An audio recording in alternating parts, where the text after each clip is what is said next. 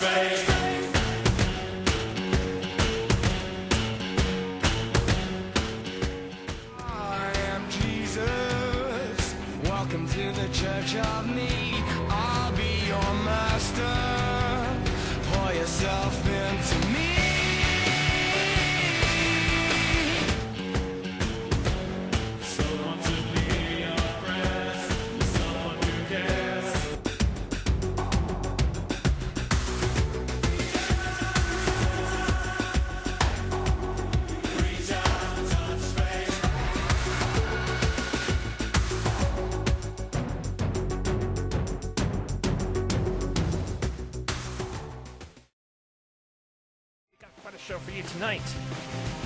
Return of the occult priestess. Returning to our show for, was it the fourth time? The occult priestess, Corinne Wilson.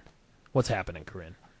Good evening, everyone. Happy new moon in Aquarius, and I believe this is my eighth or ninth show with you, Gigi. Yeah. Oh, yeah. Especially if you count the B sides and all those. I'm happy to be here always. Yeah, it's good to have you back. And you're going to be at the Conscious Life Expo, right? Yeah, with bells on, actually. There's a merge happening through our community. We know the comedian Russell Brand is into yoga and meditation, transcendental meditation, and the Silva method. Maybe we don't all know that, but I just told you. And uh, he's been chilling out with the Sikhs a lot, and he's actually coming to our fair, as I predicted. And so it's kind of a merge between the, the Shakti Sikh community and our community. Is very interesting. And so I have videos on this on Occult Priestess on YouTube. This very topic. Absolutely. Yeah, we always have a good time running around that conference. Uh, And I love meeting people there that have like heard us on the show or whatever, and that we get to meet them for the first time in person and hear their genius, really their genius suggestions about what's going on in this world. That's really what interests me about the conference is the people. a lot of the magic really does happen outside of the lecture rooms and in the restaurant, out in the halls, just running into people. Just you know rub elbows with these people that you've seen and read their books and heard everything about them but you get to actually hear their voice up close and see that person you know face to face it's pretty pretty amazing it's bitching Absolutely. Spoken like a true Californian. It's bitchin'.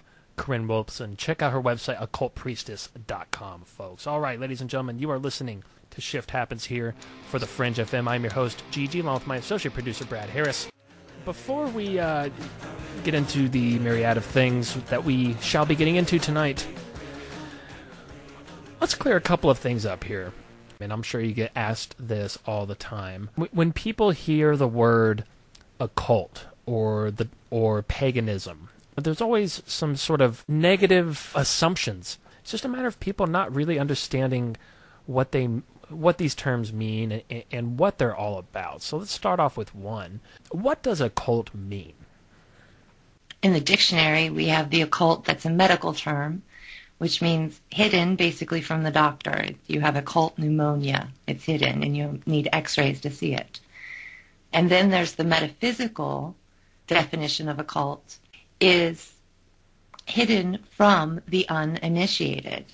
And then people argue what is initiation. The Masons will tell you an initiation is uh, going to a lodge, dressing up, and doing certain rituals with their brothers. Where I will tell you my initiations take place with my consciousness above time space with the gods and goddesses and ascended master teachers. And I actually go through trials and errors in the higher realms to accomplish these hidden feats or basically grow my soul. And so I can see what's happening to me spiritually. I'm not just going through the regular mundane, like if I go through a breakup, I'm actually going to get some kind of spiritual blessings as I go through that to help me through it and to show me what's going on with my soul in the higher realms, not just here on mundane earth where I'm probably crying, but I'm actually learning about how my soul is growing. So I understand this. My understanding of it is that it's an illuminated astral school. I can see it because my third eye is illuminated and that I can travel there because I've been welcomed into heaven to go through these initiations. For those that don't know, you're also a you're also a professional psychic as well. That's correct, a counselor. Yeah. I've been there in person, watching you uh, work with some of your clients. Uh, very very fascinating to uh, to witness that experience that you were giving your client. Uh, let's let everybody know a little bit of what you do and the services you provide in that regard, and where they can go to get those services. Okay, thank you. Um, you can always find me at occultpriestess.com, and you can search Occult Priestess for my blogs and videos and other free services that I give. And on occultpriestess.com, you'll see soul counseling, which is less expensive than the actual tarot readings, which actually take a little bit more of my energy because I am interpreting symbology. So there's an extra added layer to that. But through interpreting the symbology for my client, they get a symbolic view of their life, and actually that's priceless. To be able to take your ego out of your vision and to see your life from a higher, more loving perspective. So I definitely give that to people as well. But th- for those who are ready to do the hard work of going through their childhood and recovering from their trauma, that's my specialty. That's what I really like to do for people. And we're doing it on a soul level. So there's really no hiding from me and from the light. So it's actually somebody who's really ready to surrender to what might be better for them. And it's something that they need to discover for themselves, something that they need to make a decision within themselves to make a commitment to a path. And these are, and old ways, you know, they're ancient ways. And we used to have more of a resolve. We used to ha- be more mm, self loving in a way where we would seek the teachings, that we would seek the truth. And I think that's my romance with conspiracy theorists, as I do say I am one. But they are truth seekers and they won't stop. And I think they're amazing. Now, and now when it comes to the tarot cards, now I'm sure everyone Tarot. It's it's French, so tarot. tarot. Yeah, I I the split second that word came out of my mouth, I, I knew that was you were going to say that. That's but cool, Gigi. oh, like I guess more on a scientific level or on an energetic level, because in a sense you are working with energies. Why do they work? How do they work? What's what's the difference from that and me just you know taking a stack of paper and a pair of scissors and cutting out my own cards and, and putting pictures of tube socks on them and using those instead. You know, like- what makes the tarot cards as magical as they are. Well, I'd like to tell you about your tube sock analogy is that if you really put a lot of energy and work into the tube sock tarot, then it will be just as magical as a tarot you would buy in a store. So it's really about the operator. It always is. It's never about the tool itself. It's about the person using the tool. However, I found beginners who can give you a reading that is accurate because it is based on archetypal symbolism. And indeed, our life story is based on symbolism. And I believe that symbolism is the voice of God. And the voice of God comes to me through the symbols, not only of tarot, but of our world. In fact, during my first Kundalini awakening, all of the signs and symbols of our world came alive for me. So I didn't see like a, a White Castle sign. I saw an actual white castle and all of the information that is packed in all of our brands that we see every day, all these colors, all these flashes, all of actually it's mind control and it's mass mind control. And I actually realized it all in like a split second and it almost broke my brain. Have you ever used the now? I never know which pronunciation is correct, but um, I'm pretty big on this, and, and I like to have one of these sessions at least a couple times a year. But the I Ching or the I Ching, um, do you have you ever worked with that? Are, are you very familiar with that, or or or uh, what do you think about the I Ching? I Ching. Sure. And I, I say I Ching too. So um, it is a poetic system.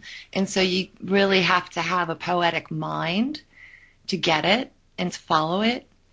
And it's very Asian. And so it's very simple, which the Western mind has a hard time with very simple black and white things because we're always putting more on it. You know, the ego wants to paint their own pictures on it, where the I Ching is so bare, raw, and Zen like. You, you kind of have to read it like it's a dream. So I do have, I am familiar with it, and I have done. I think they're uh, different. You roll the coins, right, and then you add that up. You get the different layers, and the different layers make your prophecy. And I think it's really great that you do that twice a year. That's really cool. You know, it's very specific, and every time I do it, it is um, hair raisingly spot on. Um, but also along that point, but back to the So I think what you're getting at there, what is the magic behind all of these divination tools? And I'll tell you, it's synchronicity, and it is the voice of God, and it's the force of love. If you can handle that. and I would imagine the um, you know the one having the reading done on them. Um, I would imagine that their willingness, uh, their being open to the experience, must have must be a crucial ingredient for you know for that to be effective. For the deeper work, it is crucial that they trust me as a person, yes. But I worked in nightclubs for years, and skeptics came every night wanting to prove me wrong, to make to make themselves look good in front of their friends. You know, put down the psychic, make sure that she doesn't tell you what all your friends know about you. But I went through those trials of fire in the nightclub with the skeptics, and I was the one who won out in those situations, and the friends would snicker at the one getting the reading, and then everybody else would want one because I was nice about it. When did you start? At what point in your life did you get into tarot, and, and when did you start doing it professionally? Was this something that maybe ran in your family? Was this like sort of a family tradition, or was this something that was were you the first one in your family to really tap into this stuff? Yeah, I was definitely called to this. Like in the ancient times, people had a calling. My mother was a beautician, which actually made her a counselor, just like a bartender. You know, when you go get your hair cut, you're talking about the neighbors or whatever. Right. And she would get close to people and she would counsel them and she was very intelligent about it. And I so I do understand that I partially learned my gifts from her in a way of how to deal with people in a loving, kind way as a counselor. Um, but I got my very first job as a tarot nightclub psychic when I was 17, and it was downtown uh, Cincinnati, Ohio, a place called the Warehouse. And I was among my peers. It was we had goth nights. I was goth. I still am gothic, and I got to dance, and then I got to um, shed light on my my peers and their situations and what they were going through. So I actually got to love a whole community through counseling because I, I knew I was the only one really talking to God at that point there among those people. And so I was the only one that could be the conduit. And I felt like it was a very big responsibility for me to do that. Is everyone, is every human on the planet capable of doing that? Uh, is it something that can be learned f- for everyone, or are there, or is it not for everyone? And and how would you, you know, go about tapping into that if somebody really wanted to get into it? I do believe everyone is born with the potential. However, I also believe in past lives. And you've either cultivated your intuition over several lifetimes or you haven't. So I didn't just wake up one day as a kid psychic. I came in that way and I keep coming in that way because that's the truth of my soul. It's the origin of my soul. So when I manifest in lower realms here in the earth plane, I'm always going to be psychic but there are the human animal, if we will, with a soul can see and hear what we call God or the force of love.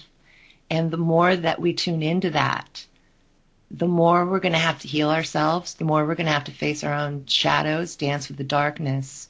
But there, that's just a phase. After that, you get to live in heaven in your heart. Heaven is on the inside. So you might have like terrible circumstances in your life, But when you have heaven in your heart, it makes everything bearable. And so that's the thing about the new age is that they usually say, create your own bubble, create your own reality, basically make your ego God. Whatever you desire is what should be. And I'm not on that trip. I'm on the trip of following the higher will of God, which is as above, so below. Your soul is either in a state of torment or a state of heaven above our bodies and in our bodies. And I don't believe that we create this reality. I believe God does. Okay, well, and, and even when it comes to, you know, what you desire, I mean, there that that can be two different things as far as I'm concerned. I mean, does it could be an ego-based desire, which Yep. you know is that, or it, you know, for some people, their desire might actually be their true desire of their soul, which is quite a different thing. Exactly. then- a calling. Yes. Yeah, a calling. That's probably a better word for it, right? Because it pulls you. you. It's like magnetic. You can't not do it. I know people that would defend the ego. Like your ego is there for a reason, they would argue, I yeah, guess. it's there to feed you, clothe you, bathe you, take care of your animal body. So your ego is supposed to be the watcher, like the parent. But in our society, most people's egos are very sick. They're very broken. They're very traumatized from childhood. And they haven't made it through their subconscious trauma, the place where the boogeyman lives. Like in Christianity, they talk about slaying demons, well, or dragons, sorry. And this is basically the same thing. It- everyone who's had a lot of trauma has created some kind of dragon through a defense mechanism. And if we're still living with all of these defense mechanisms, then we haven't grown past our difficulties from childhood. And we haven't come into a space yet where we are living 100% in faith, 100% looking for God's light, and only following the higher will of God. So that the ego is definitely a stage of our development, but then that ego egg cracks and then the light comes out, as they call the light body. But you become illuminated, not physically, but within. You become illuminated, and that's heaven on the inside. And then you can see, like I do, you become a visionary. Or some people hear music. I'm not, you know, I'm not saying there's only one category, but you will become a magical person. and this is perfect. So, like everything you just said there, um, all of those words, you know, you know, you know, following in the light of God, and and and, and everything he just said. I mean, and this was kind of my point at the beginning was, you know, people wouldn't expect those words of wisdom to come from someone named the occult priestess. You know, you know what I'm saying? Like, Yeah, and I can really address that. It's dichotomy. We're living in polarity of black and white and dichotomy. And Hermes, my spirit guide, is like the king of dichotomy. He loves the trickster, trippy, black and white, flippy thing because when you allow your brain to flip, you can go crazy or you can go sane. And that's that switch that I think everyone's afraid of when they don't have any light and they're in the closet. You know, they're all alone and they're afraid. In that space right there, that space is where God comes in and says, Hey, would you like to have some faith? Would you like me to light a candle for you? Can we have a conversation? And so when you're in trauma nowadays, like as an adult, I call out to God because I still experience trauma. Can you redirect me? I think I got lost up there in the ether somewhere. I don't know what dimension I'm in anymore. Now, you mentioned earlier, you, you know, um, something along the lines of that we don't create our reality. Uh, you know, this reality is created uh, by the source. I mean, there's definitely a flow that you go with. Flow is set there beyond you to a certain extent. You're talking about synchronicity, and Joseph Campbell would call that the tapestry of life, that we're all in a musical movie together, and basically he saw it as a tapestry, and there were all different threads through the tapestry of history, which I think is beautiful. So with synchronicities, for example, uh, I, I'm a big synchronicity guy. Me and Brad were just talking about this earlier today and yesterday as well. Um, It's like cocaine to the spiritual person. Give me more of that synchronicity. Because here's the thing: some people synchronicities happen to everyone, but the difference is some people don't act on those synchronicities. Some people don't even think of them as synchronicities. They think of them as coincidence. But you drew a line in the sand there. And I agree with you, Gigi. There are those who believe in synchronicity and the force. You don't even have to call it force of love. Just say, oh my gosh, something happened. You don't even have to label it, but you know, because we're all talking about the same thing. And then those people who are in their thinky brains, who are being overly intellectual, in their inner child is like doing math instead of playing with rainbows, where our inner children are extremely creative, and although they can also be destructive. So it just depends on how healed your inner child is, because it all comes from that. This this magic, this synchronicity, this Peter Pan, the Pied Piper, all of that comes from your inner child and your willingness to be innocent again. you know when a synchronicity happens to me i really take that to heart and, and, and really apply that uh, whereas other people think of it as coincidence and wouldn't so in that sense wouldn't you know because i could not act on that synchronicity but by the act of me acting on that synchronicity isn't that me creating reality Well, check it out. So action is actually the word karma. So karma and action are interchangeable. So you create karma when you take an action, right? Or when you choose not to act. That is also a karma, a form of karma. So when you act with the vibration of love, synchronistic timing, synchronistic events and people, and you're like, wow, I met that person. I feel like I know them from a past life. I think I'll give them an email. And then the negative voice comes in and says, that person doesn't want to know you, you know, and then says everything terrible that's terrible about you or bad that you think about yourself. So that's the doubter and the hater, the troll within the head. So if, are you agreeing with the troll or are you looking for a magical path and are you willing to be innocent to be able to follow it? Yeah, JG, good point. I don't know. I've been having a lot of synchronicities this last week, and and Brad was talking about this with me the other day, and and he has too. It's like all of a sudden a like a spike in the frequency of synchronicities happening. Ha- have you noticed that this last week, or is that just us? Well, I've kind of been buried in spiritual warfare over here. I've had, uh, I, I just saw Russell Brand again, live in person, and I was just on a show, uh, The Fallen State, with Jesse Amazing Peterson, and so I've been getting a lot of attention and being, you know, I'm used to being a hermit, but I've been out of the box a lot this week, so I would say yes, the game is heating up, boys. All right, so you know, so along with what we were talking about earlier, he's saying if everything is set in stone, then there is no free will. And Okay, also- let's and- stop there. Okay. So y- your free will is limited to are you going to follow a traumatized, sick ego and its ideas of what is good for you? Or are you going to follow a higher light love in its ideas of what is good for you? That is your free will. You get to choose your apple lesson. So ate the apple, you're here, and that is the lesson of good and evil. And that's what we're all learning and growing our souls with. It's like fertilizer. Right. And then there was a second part. Did I answer that for you Yeah. about free will? Well, we'll see, we'll see what he says. Um, but also, and then the the second part was, uh, you know, how, you know, with everything being set in stone, uh, how do you explain the timeline shift and the Mandela effect?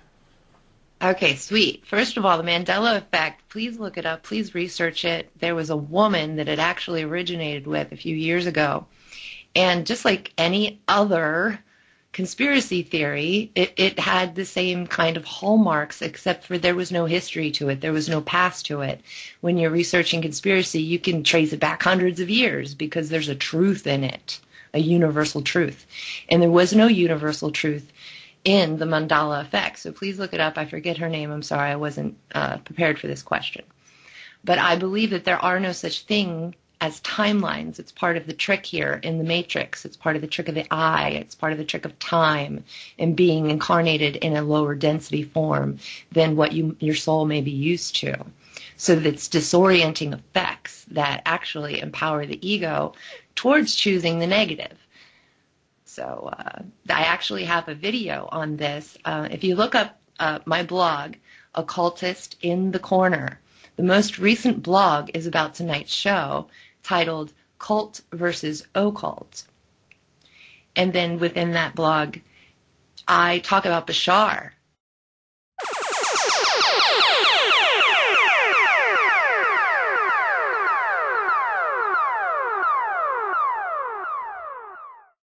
Listened to Bashar saying from Sirius. Now Bashar, Bashar is supposed to be Sirian, and you know, mad respect for Bashar. He used to write for Star Trek and all that. I mean, that's that's some street cred right there. However, that whole creating your own reality thing, he goes on to say there are parallel Earths happening right now, and that in some Earths people are experiencing a utopia and it's all based on their state of mind. If your state of mind is negative, you're going to be in a negative place. Your state of mind is positive. And this is not true at all. if you want to be in a positive place, go to the Tibetan monks in a cave somewhere and go hide and meditate all day and go live in the fifth dimension. But that is not this planet and that's not this earth and there's no parallel situation going on. We are here and this is now and it's real, Bashar. And I wish that you would come forth with that a little more often. I know it doesn't sell as well, but it is the truth. So you're this is it's just not true, Bashar. We've all chosen lessons and we're all going to go through them, no matter how happy or sad we are about it. And this is collective here on this planet. This is collectively happening. There's no parallel earth unless you're an escapist and you're saying, well, I have a privilege to create my own world and ignore, yes, ignore the other aspects that are going on. But if you're in this for real and you're mission oriented, everything really does matter. And that's what um, there's where the awakening and the awakening become different things. There's the awakening of Kundalini, of psychic energy, of understanding the universe on a microcosmic macrocosmic level and understanding your place within it and having your energy rise and your crown turned on and all that spiritual awesomeness. And then there's waking up to the conspiracy facts and waking up to how this world is run, what type of people run it, and what we value as cultures.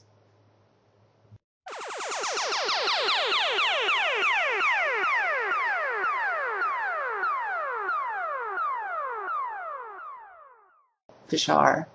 who claims to be from Syria. And in that video, I go through the timelines and how they have been propagandized. They've been in a lot of comic books and science fiction that we have parallel Earths. And there's a philosophy that goes with that, and the philosophy that I disagree with. And that philosophy is it doesn't really matter what you do here. You can choose whatever you want. And I believe it matters very, very much because we're learning the lesson of good and evil, the lesson of the apple. So when you distract people from the very root truth that we are here to grow our soul into some comic book land of timelines and conjecture, then you're actually drawing them away from the light, not towards it. And isn't Sirius B? Isn't that the the one that's that's the star that's behind the the star that we can't see directly, but yet somehow the we ancients can- knew where it was right. so long ago? Right, and we can see Sirius, and Sirius might actually be the star that's in the Star Trek communicator symbol. That might be the brightest star there of the 22 stars that we were discussing in the chat. But Sirius has been the focus of the ancients because what many people don't know, it's hidden in stuff that I read, the Kore Kosmou. Isis, the mother of Egypt, actually says that we are star seeds, we are from the higher realm of Sirius B. I'm from Sirius B, and I'm from somewhere before that too, if you want to look in time. But Hermes, my spirit guide, and I are both came through the portal of Sirius B to Earth, and we're here on Sirius Sirius B business, basically. And then when I heard about Bashar, and then another channel named Brad Johnson, who channels Adronis, both of these guys are from Sirius, but we have absolutely nothing in common. And so it was a very interesting study for me to go through and critique their work and see why we're different, why my consciousness isn't seeing what their consciousness is seeing. We're on two different levels. So they're still stuck in time, space, science, in the minutia of the five senses, where I'm above time and space. Okay, well, actually, first let's clarify. Now, when- you when you say you know when you say something like you know you're from Sirius B, are you talking ab- are you talking about your soul, or are you, or are we talking about like literal physical lineage, like like some humans actually descend DNA. from people that live physically over there in Sirius? Right. Thank you so much for this differentiating question because nobody in the New Age is talking my narrative. I'm the only one who says this, but my soul came to Earth through the portal of Sirius B, much like Dorothy came through a tornado. And then when my mother was ready to give birth, I was put into this body. And that's how we that's how we ride. That's how the soul does it from where I'm from. Not everybody's from Sirius B, obviously. And I've done my own spiritual research, which means I ask questions of the higher ups upstairs in heaven, the Ser- the Sirius B realm. And I'm like, what is this place? And they're like, it's a heaven realm. This is a part of heaven, but we call it Sirius B in your earth language for fun. You know, it's like if you want to know geography, look up at this star and call it home. Let's just to make an example. So it's my soul, baby. It's not DNA. It's none of that stuff. I'm full Native American human girl.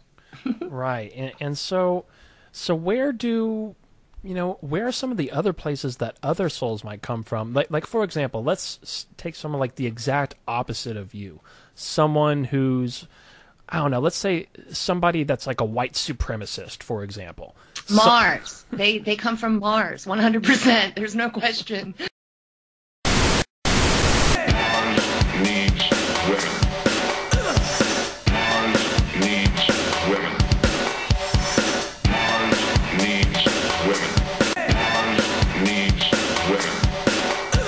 Control all that you see and hear.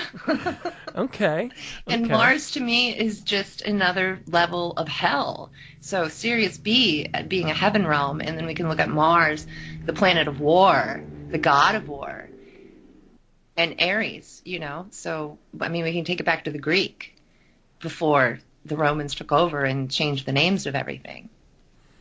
So, yeah, it would definitely be Mars. I've actually been there in visions, which means my consciousness has traveled to Mars and it looked like hell. There was flames and fire, and it looks like everything I've ever seen in a Hollywood movie or Dante's Inferno. It was trippy. So is that like a sort of an astral travel experience that you had there or or was Yeah, it but it's my consciousness that's traveling, and that's what a lot of people don't quite understand. You can float above your body and you can astral project, but where I go is higher than what a astral projection body can get to. So it has to be my consciousness that goes. You must understand your consciousness is traveling beyond your body into astral realms. This brings up many triggers for those who are not ready to learn. They question if there is a God, if there is a heaven. They became convinced material life is all there is. For those people, the mysteries are but pearls before swine.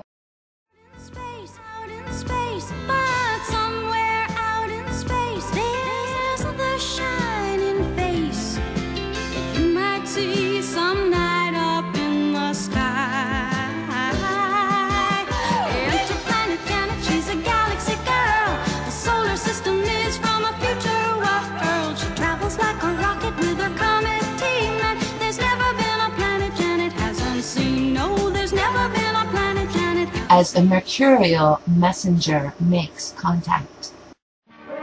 He was a famous trumpet man from out Chicago way.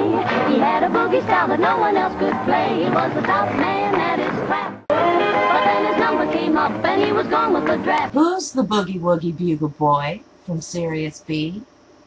The astral lightning that's frightening me, illuminating me like a Christmas tree. Oh, hallelujah and glory be. Cosmic consciousness is the frequency, blowing up the sky with vibrant rays, tuning back in like the radio days. The super density of Sirius B. okay. And I call it my soul, my little soul car, my little Merkaba. and I have videos on that to teach you about your own soul car and how to wear your crown chakra and get that sucker moving so that you can get up and, and remember the heaven realms as well. Call me Hermione. I really feel like Hermione these days from Harry Potter. Ugh, I feel like kind of a know-it-all, and it's hilarious. So watch my latest video where I make fun of Russell Brand and I both at the same time. So speaking of Russell Brand, he is going to be at the Conscious Life Expo, giving a As talk. predicted. And and what? So what's he going to be presenting there?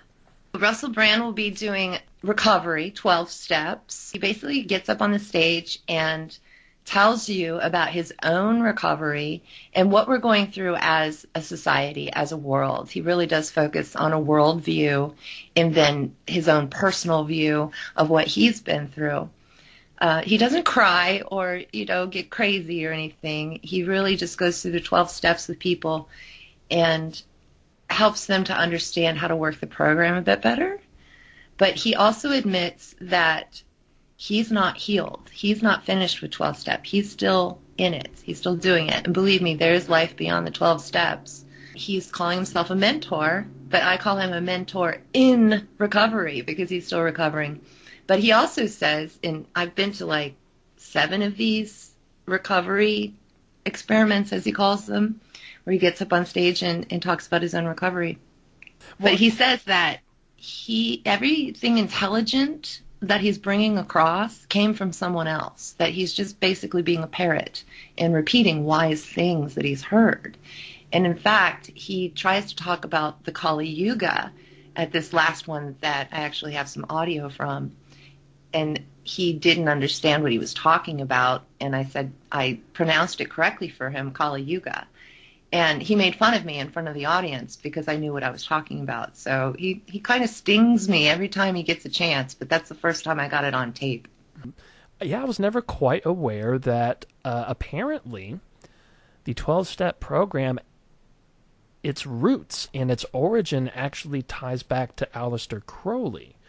And how, how, how? So Aleister Crowley had a huge following. Let's say he was a cult leader for sure. It still is actually through his books. His spirit is very much alive among us in the realms of the occult. Bill Wilson, who actually wrote the 12 steps, he was in conference or conversation, if you will, with Aleister Crowley and the OTO, Order Templi Orientis, or something like that. And you can look that up. And it's also, all of this stuff is in my blog. All you have to do is look up Aleister Crowley, these key words, uh, and we'll show you where all of these people align. So Bill Wilson actually took a ritual step program that occultists go through and made it available to everyone in the form of 12 step healing. So he actually distilled the wisdom and put it in a way that the mundane person could understand it. But believe me, that is deep occult magic and it healed me. So it's all about, again, it's not the, the tool, it's the practitioner. kind of like earlier in the show, you know, when you were talking about, you know, you know, following the the light of God, and and you know, I mentioned, you know, a lot of people would be surprised to hear that coming from somebody called the occult priestess, right? Well, in that same fashion, he's there is a lot of I- don't know if a lot is the right term, but I've definitely come across a couple of nuggets of some real um, deeply spiritual insights that uh, Yeah. I was surprised to find in there. I would say Aleister Crowley is probably my nemesis. As I was talking earlier about dichotomy and black and white and tricksters, Aleister Crowley is definitely a trickster, a cult leader.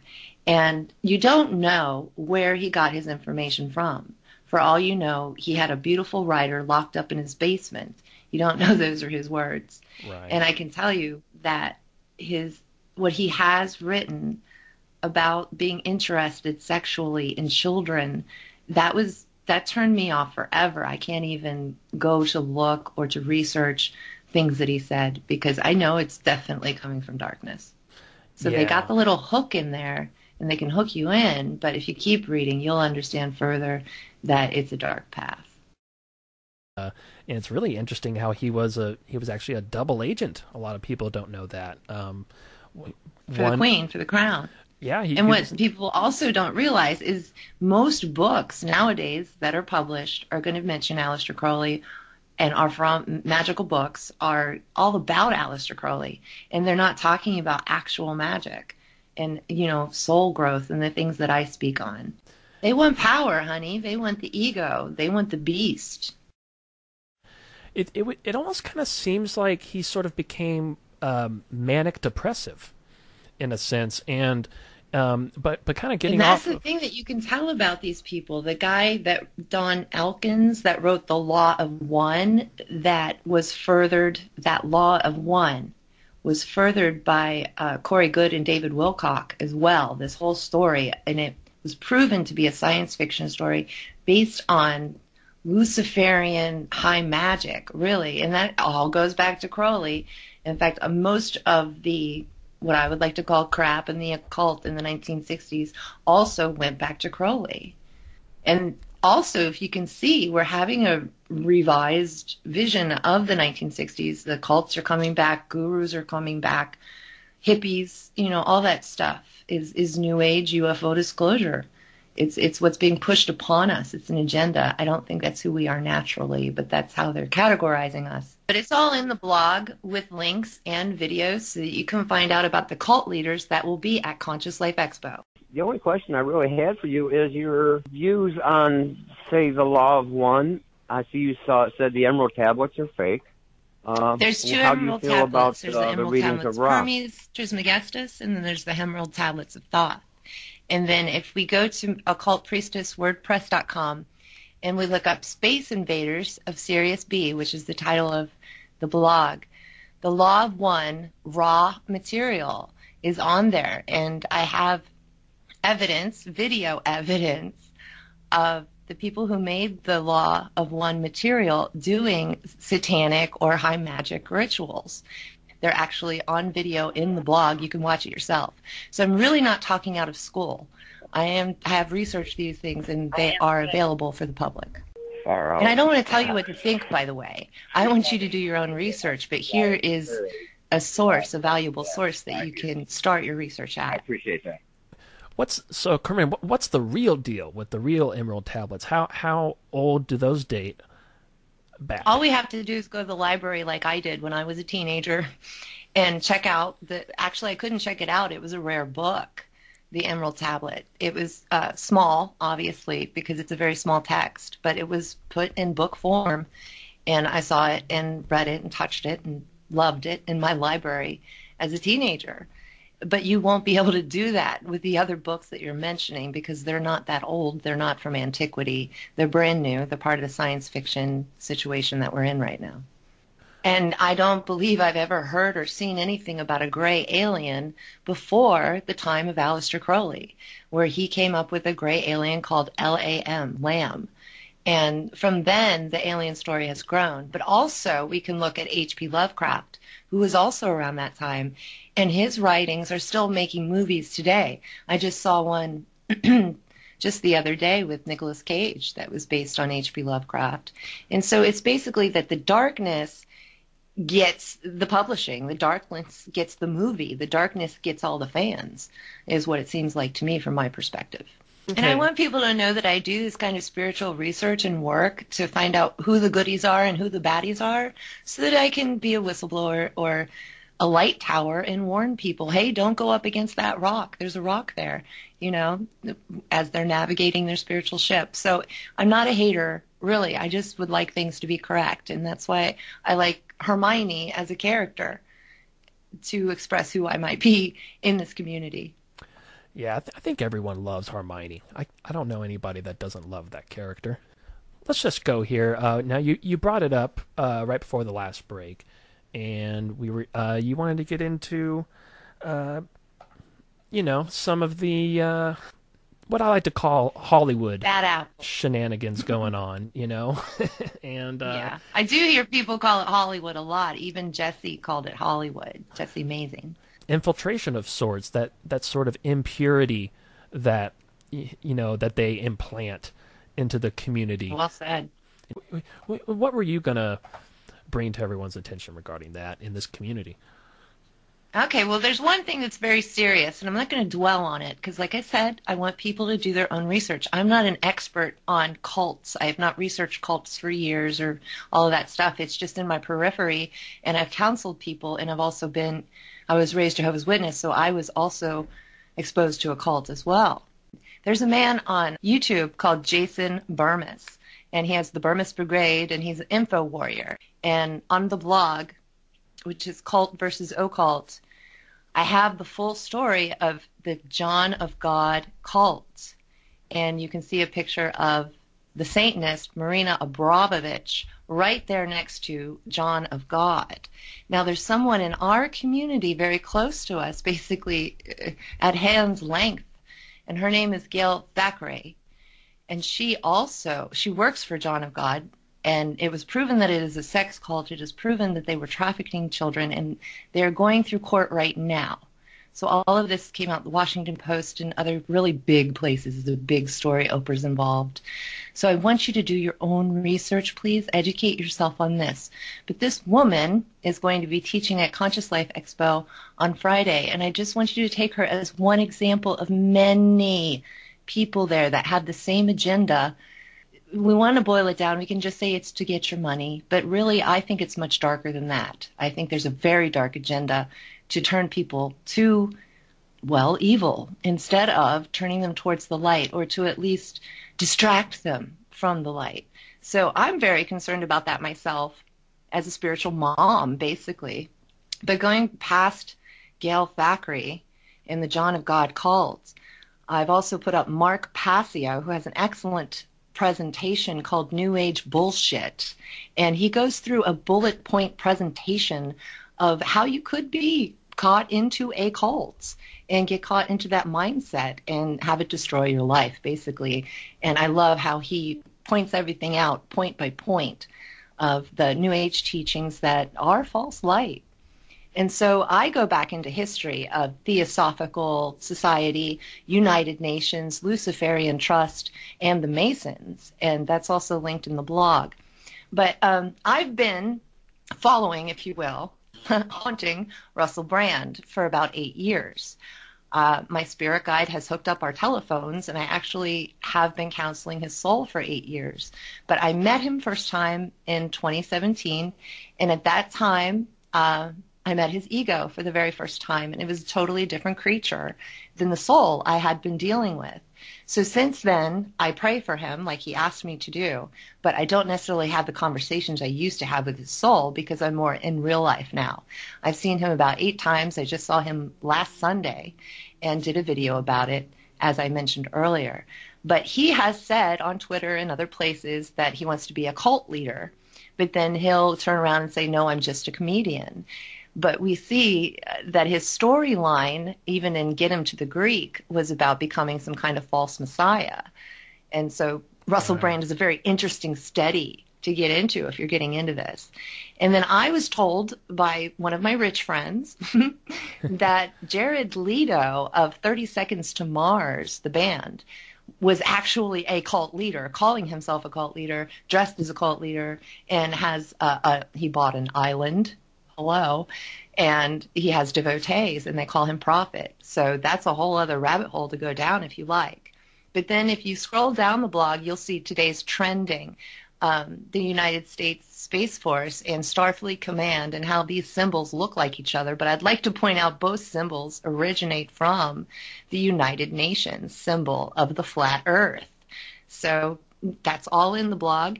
And then that's where I go into uh, Sirius B and Bashar and timelines and the Mandela effect and how all of that is just an illusion of the Matrix.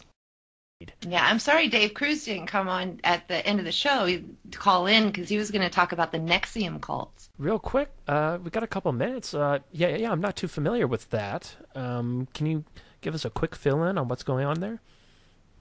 All I know is one of the actresses from the Superman television series joined a cult in which her body was branded, everyone was branded, and they were treated very traditional cult experience, sexual abuse, ritual, satanic ritual abuse is basically what it's called.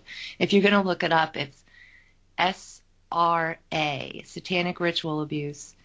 And they, you know, Hollywood people, I, I, we hear on YouTube, we see thousands of videos where people have said they've sold their soul to the devil for fame.